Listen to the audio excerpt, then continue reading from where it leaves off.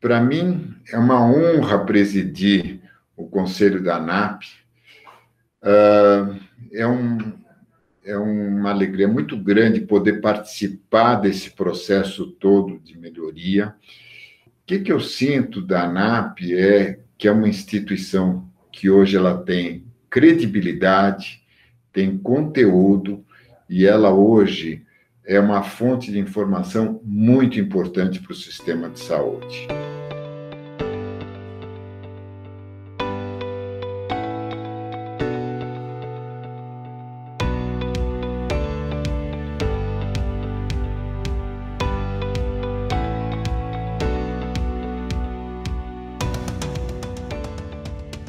Os dados são o novo petróleo. Quem disse a frase que virou um mantra dos negócios na atualidade foi o matemático Clive Humby, mas ela se encaixa perfeitamente no contexto da saúde suplementar e da ANAP. Afinal, analisar dados traz excelência à assistência e à gestão, e essas são metas fundamentais de um setor que, em 2017, reformulava as regras do Índice de Desempenho da Saúde Suplementar conhecido como a nota das operadoras para priorizar a qualidade da assistência. Foi pensando em compartilhar boas práticas para impulsionar a qualidade na saúde suplementar que, entre os dias 13 e 15 de março de 2017, a ANAP realizou pela primeira vez o Hospital Summit. O objetivo? Discutir, por meio de workshops práticos, temas tático-operacionais do mercado e esse é o 13º marco do nosso especial. Nós somos basicamente entidades prestadoras de serviço, né?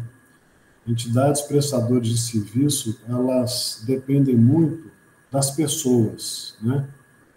É, e as pessoas gostam normalmente de interagir umas com as outras.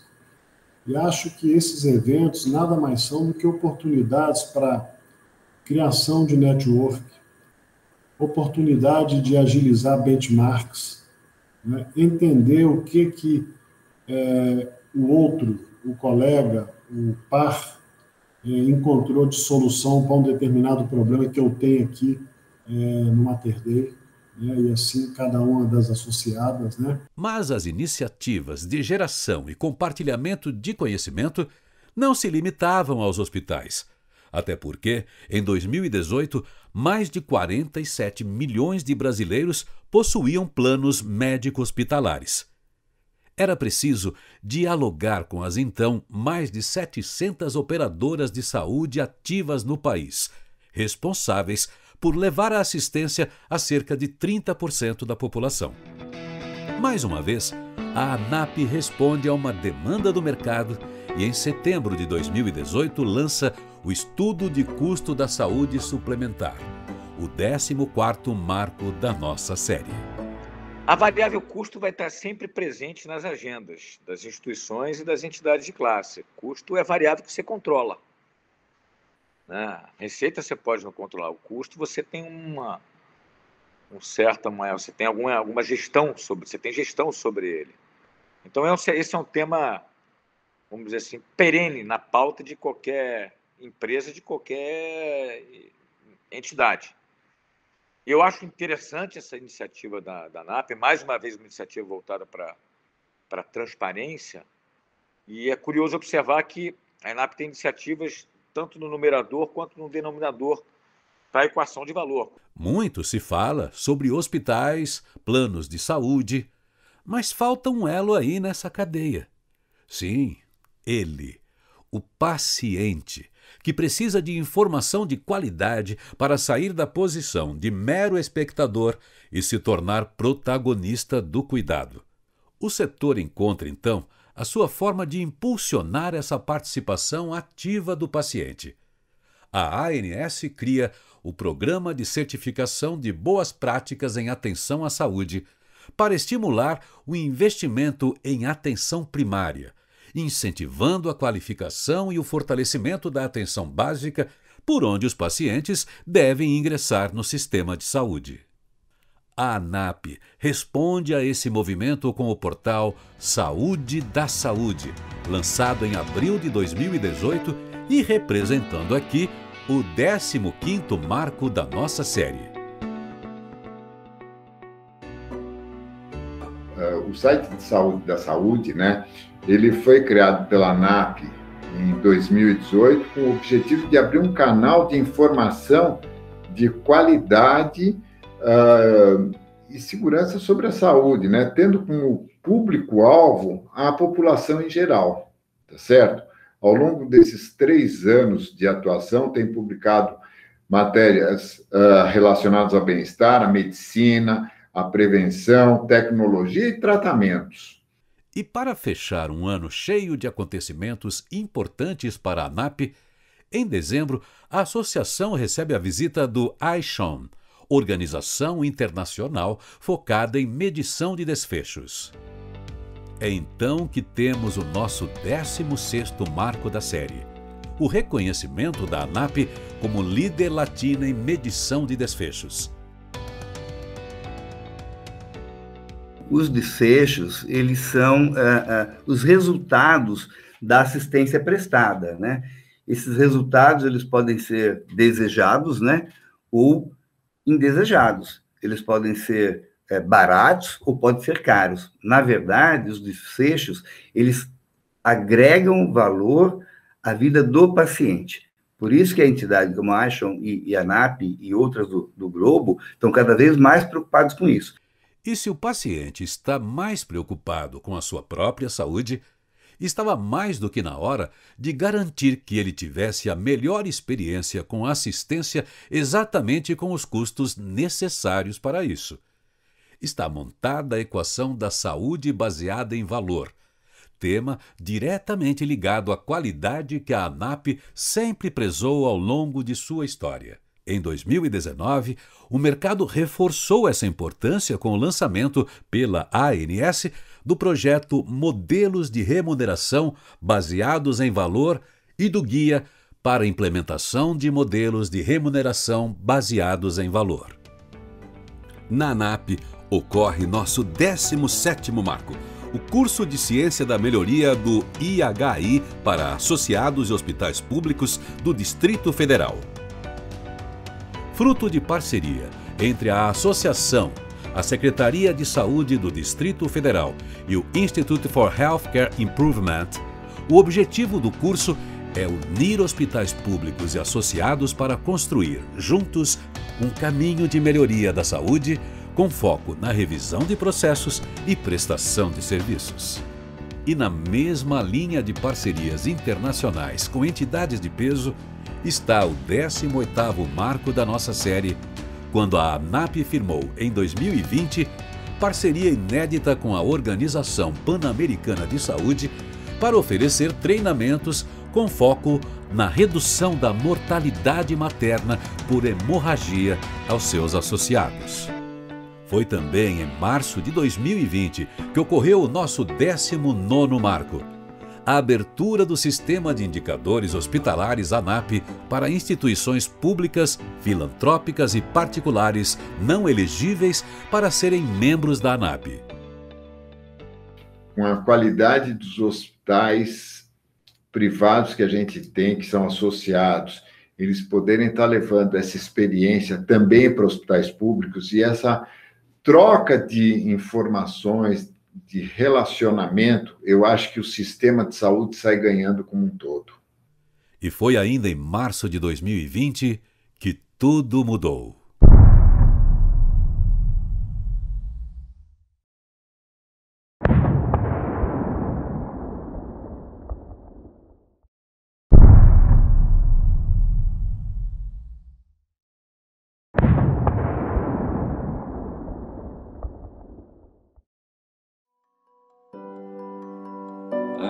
É uma liderança agora em conteste no mercado.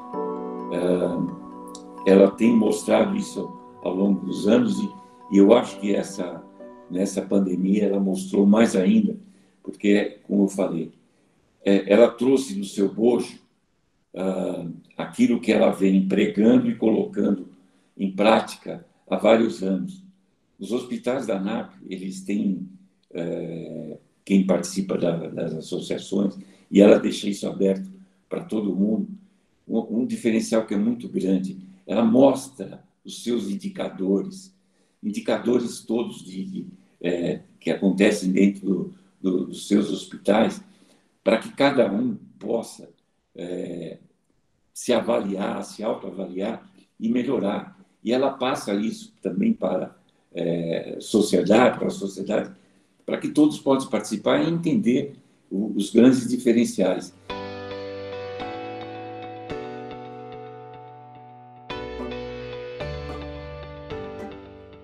Mas não tem como deixar de falar aqui do tamanho do desafio que a Covid-19 trouxe para os sistemas de saúde no mundo, em especial para os hospitais e como uma associação representativa de um dos elos mais importantes da cadeia de saúde, a ANAP tomou a frente de discussões fundamentais para o futuro do setor no Brasil. E este é o nosso vigésimo e último marco.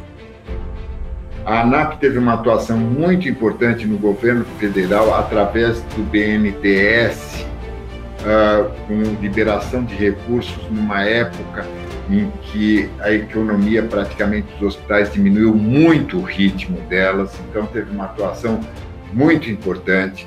Através do comitê de crises, com reuniões periódicas com os hospitais, a gente tinha uma troca de informação de um determinado associado, como ele tinha conseguido resolver um, uma questão problemática, passando para todos os outros. Foi uma atuação muito importante e que veio beneficiar todo o sistema de saúde. Mas e o futuro? O que será que ele nos reserva? Então, eu acho que a, nós criamos na, na, na, época uma união muito forte do grupo em torno dessas ideias que cada um tinha, que a gente aperfeiçoou o desenvolvimento conjunto aí das equipes, né? E, e, e no, no, ato, digamos assim, de levar essas ideias, esse conceito, esse modelo para todos os hospitais. Eu torço muito para que ela não perca esse protagonismo de sempre ter o novo para alimentar as boas gestões, alimentar aqueles que já fazem bem feito e alimentar os que estão começando. E que seja uma instituição que sirva de exemplo. E o bom exemplo. O bom exemplo a democratizar como a globalização é um instrumento de globalização do conhecimento. Para o futuro, é, eu acho que os desafios são enormes. É, eu acho que a gente não tem a dimensão do impacto dessa pandemia nos, nos nossos hábitos, na, na, nossa forma de viver ainda. Acho que a gente está tá, assim um pouco perplexo é, é, com uma esperança muito grande nessa questão da vacinação, na esperança de voltar a uma vida parecida com a qual a gente tinha anteriormente, mas que não vai ser igual. Né?